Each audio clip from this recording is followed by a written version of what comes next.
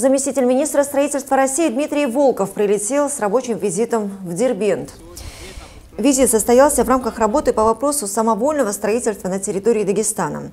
Волков осмотрел два многоквартирных дома. По информации, застройщик одного из них отбывает наказание по решению суда а застройщик второго дома находится под следствием.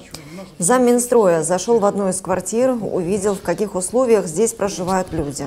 По итогам визита будут подготовлены заключения о возможности дальнейшей эксплуатации построек.